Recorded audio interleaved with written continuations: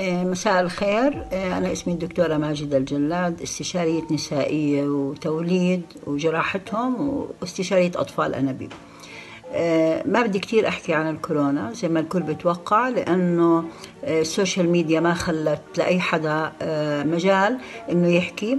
اللي بدي أأكد عليه إنه المعلومات الموجودة حاليا مش evidence based يعني لسه لم يطبق عليها الدليل العلمي نتيجة قلة الوقت وقلة الحالات. لكن المخاطر اللي اللي بدي أكد عليه إنه المخاطر اللي تقع على الحامل زي المخاطر اللي تقع على غير الحمل. يعني الحمل لا يشكل خطورة في حال لا سمح الله أنه الست أصيبت بالكورونا أكثر من غيرها. وهذا هو المؤكد. اللهم إلا أنه الانترفنشنز أو التدخلات أحيانا بيكون في لها محاذير نتيجة الحمل والخوف من تأثير على البيبي.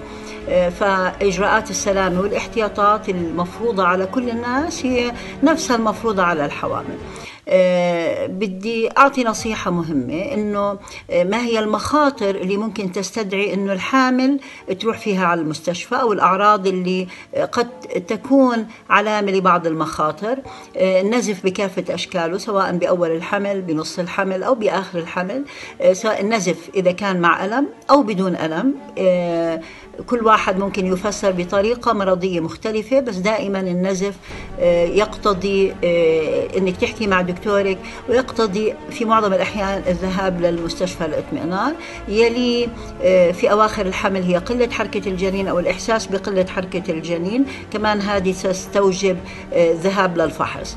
الحالات النسائية الحالات النسائية اللي تستوجب بهاي الظروف الذهاب إلى المستشفى كحالة طارئ هي قليلة جدا. وهي أيضا النزف النزف اللي هي زي دورة غزيرة أو دم غزير ما بعد انقطاع زمني للدورة أو نزول دم مع ألام مبرحة بالبطن. قد يكون له بعض العلامات المرضية اللي تقتضي القيام بالفحص وإجراء بعض الفحوصات. نصيحتي الأخيرة هي نصيحة اجتماعية أسرية يا رب تسمعوها مني وتقبلوها مني.